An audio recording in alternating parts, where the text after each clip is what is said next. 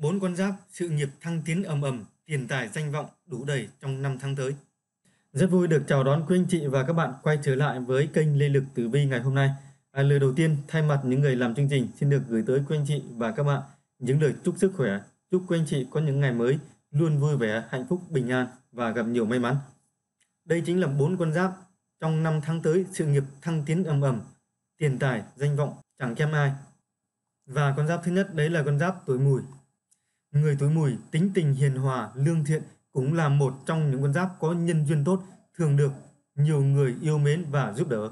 Bản thân con giáp này cũng là người đáng tin cậy, có thể làm bạn cả đời. Đây là cái mẫu người chi kỷ có thể tâm sự, chia sẻ mọi điều mà không lo tuổi mùi tiết lộ ra ngoài. Tuy nhiên thì để nói về cái may mắn của tuổi mùi thì không thể không nhắc đến việc trong năm tháng tới vận trình công danh sự nghiệp của quan giám này sẽ có những cái chuyển biến vô cùng quan trọng. Bán mệnh có nhiều cái ước mơ của riêng mình. Trước đó, bạn chưa đủ tự tin để thể hiện những cái ước mơ đó, nhưng trong cái thời gian tới sẽ có quý nhân ở bên trợ giúp trao cho bạn thêm niềm tin vào chính bản thân mình. Sự lạc quan hứng khởi của bán mệnh cũng sẽ tiếp thêm sức mạnh cho những người xung quanh. Công việc nếu cần đến sự kết hợp hợp tác thì sẽ nhanh chóng suôn sẻ thuận lợi dưới sự chỉ đạo của những chú dê. Và con giáp thứ hai đấy là tuổi dậu. Xem tử vi, tuổi dậu chính là con giáp thăng tiến trong năm tháng tới. Giữa lúc mọi người còn đang lo lắng vì thất nghiệp, cắt giảm nhân sự thì con giáp này lại được những cái thành công mới khiến cho cấp trên không thể không ưu ái mà cất nhắc lên cái vị trí cao hơn. Vận trình của bán mệnh ngày càng hanh thông suôn sẻ nhờ những cái cố gắng và nỗ lực không ngừng nghỉ mà những chú gà đã chiến thắng được nhiều khó khăn trở ngại trước mắt. Hơn thế nữa, nhờ cái sự thăng tiến trong sự nghiệp mà tài vận của con giáp này còn có phần hồi sinh tìm lại được hy vọng mới cho mình giữa lúc mà khó khăn bủa vây. À, thứ ba đấy là tuổi ngọ. Xem tử vi năm 2020 thì trong năm trong năm tháng tới thì người tuổi ngọ được các tinh chiếu mệnh vận trình may mắn, sự nghiệp lên như diều gặp gió. Bán mệnh càng tiến bước thì càng đạt được nhiều thành công. Con đường công danh sự nghiệp trước mắt càng ngày càng rộng mở thanh thang. Sẽ có nhiều cái cơ hội cho con giáp này phát triển được cái năng lực của mình, thậm chí còn khám phá thêm những cái tiềm năng mới còn đang ẩn giấu mà trước giờ bạn à, không biết được mình có. Chứng minh được năng lực vượt trội của bản thân, những chú ngựa có thể thỏa chí tang bồng. Bạn sẵn sàng làm việc ở bất cứ vị trí nào và luôn giữ cho mình tinh thần hứng khởi, nhiệt tình nhất có thể, khiến cho cấp trên vô cùng yên tâm khi giao phó cái trọng trách. Và thứ tư, đấy là tuổi tuất.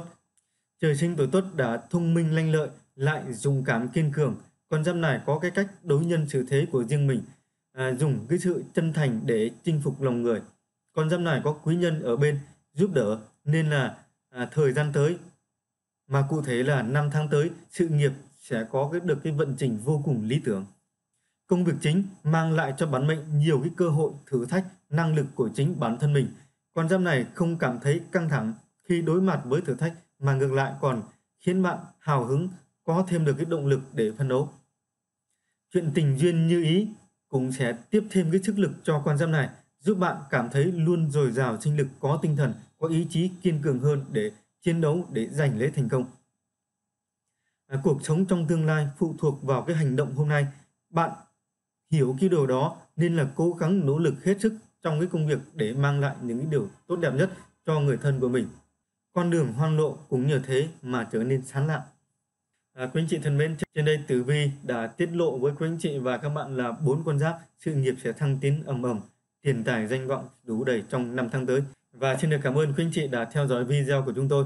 À, nếu có bất kỳ băn khoăn, thắc mắc hay là muốn tư vấn riêng về tuổi của mình thì các bạn hãy vui lòng ghi rõ rồi để lại lời bình luận bên dưới của video và ban biên tập sẽ phản hồi lại các bạn trong cái thời gian sớm nhất.